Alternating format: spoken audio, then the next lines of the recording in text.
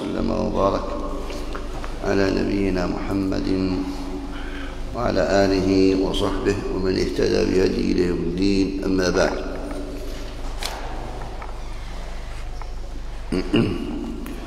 بالسند المتصل إلى الإمام مالك رحمه الله قال في كتابه الموطأ كتاب الجمعة أو في كتاب الجمعة باب باب في من أدرك ركعة يوم الجمعة في من أدرك ركعة يوم الجمعة.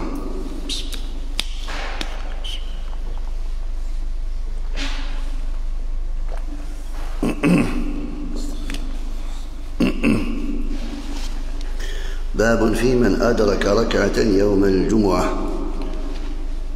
هنا بعد أن ذكر بعض ما يتعلق بأحكام الجمعة أشار إلى مسألة المسبوق.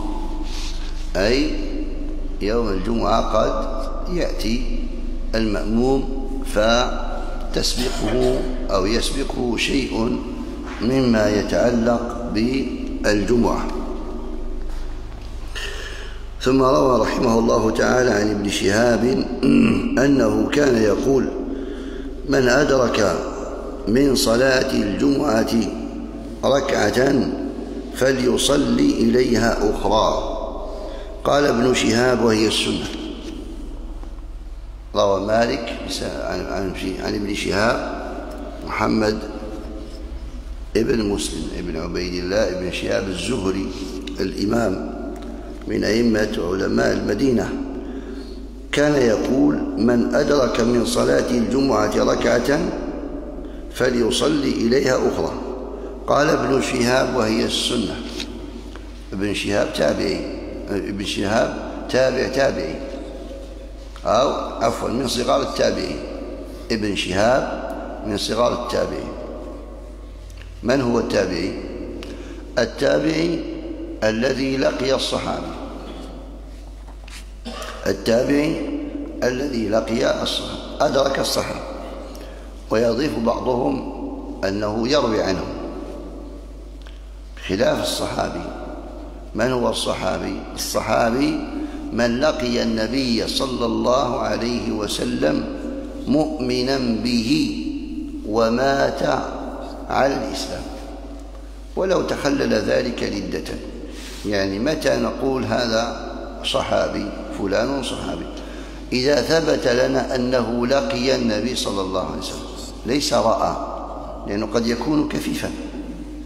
وقد يلتقي يلقاه في جمع كبير فيراه عن بعد. فإذا الضابط أنه التقاه لقيه. أنه لقيه. لقي بخلاف من لم يلقه. بخلاف من لم يلقه. وليس بالضبط أنه رآه. فقد يرى وقد لا يرى. فإذا يجتمع معه في مجلس واحد ويلقاه. فيخرج من هذا من, لق من رآه في المنام ولم يلقه. قال صلى الله عليه وسلم من رآني فقد رآني فإن الشيطان لا يتلبس بي. فإذا الصحابي من لقي النبي صلى الله عليه وسلم بشرط مؤمنا به ليس لقيه كافرا به. فإن النبي صلى الله عليه وسلم قد لقيه من قومه كذا واحد لكن كانوا كافرين. ومات على الإسلام بشرط أنه مات على الإسلام. أما إذا ارتد فليس بصحابي. كالأعراب الذين ارتدوا بعد وفاة النبي عليه الصلاة والسلام. ومات ولو تخلل ذلك ردة يعني طيب إذا رأى النبي صلى الله عليه وسلم مؤمنا به ثم أس وأسلم كان مسلما. ثم ارتد ثم رجع إلى الإسلام. فإن هذا يعد ماذا؟ تعد له صحبة.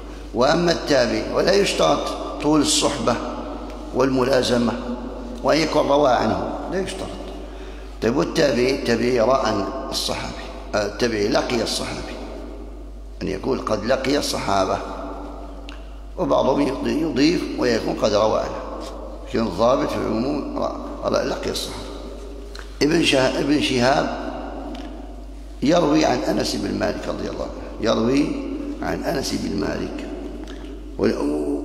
فقوله وهي السنة قول التابع هي السنة من قبيل المرسل. صير من قبيل المرسل.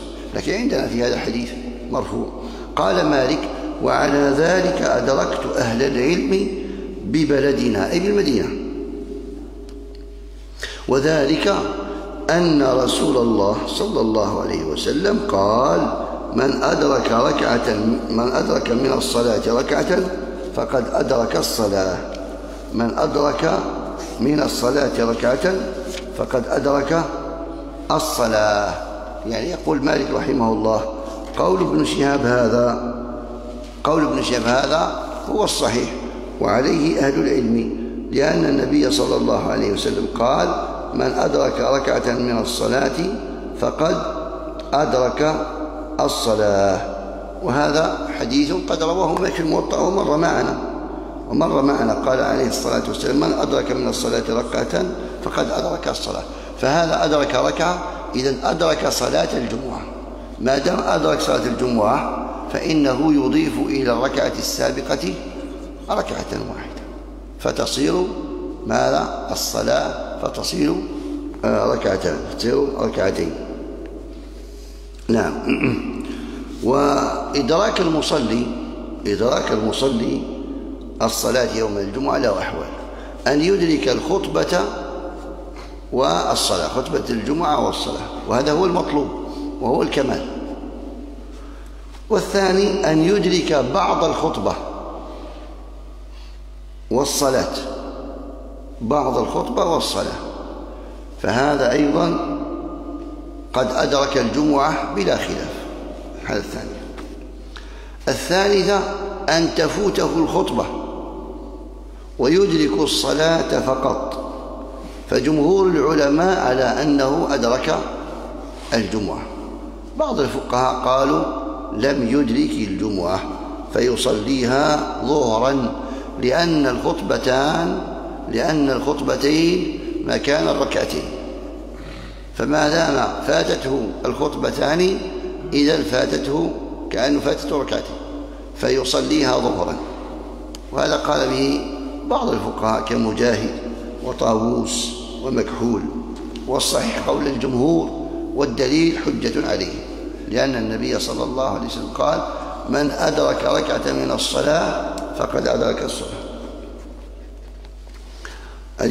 الرابعة أن تفوته الخطبة وركعة من الجمعة وركعة فقط. فكذلك الجمهور يرون أنه أدرك الصلاة فيضيف إليها أخرى. الحالة الخامسة من أدرك الإمام جالسا أو بعد الرفع من الركعة الثانية فلم يدرك أي ركوع. فالجمهور أنه فاتته الجمعة يدخل معه لكن إذا سلم الإمام قام وصلاها ظهرا قام وصلاها ظهرا. وهذا جمهور العلماء خلافا لأبي حنيفة وأبي يوسف قالوا أدرك الصلاة فيصلي ركعتين فقط والصواب ما عليه الجمهور. ثم قال مالك إشارة إلى بعض المسائل الفقهية في الذي يصيبه زحام يوم الجمعة فيركع ولا يقدر على أن يسجد حتى يقوم الإمام أو يفرغ الإمام من صلاته. أنه إن قدر على أن يسجد إن كان قد ركع فليسجد إذا قام الناس. وإن لم يقدر على أن يسجد حتى يفرغ الإمام من صلاته فإنه أحب إلي أن يبتدئ صلاته ظهرا أربعا. إنسان في صلاة الجمعة أدرك مع الإمام الركوع ورفع ولشدة الزحام لم يستطيع أن يسجد. فإذا تمكن من السجود قبل أن يسلم الإمام فإنه يسجد ويدرك الإمام. وقد أدرك الجمعة.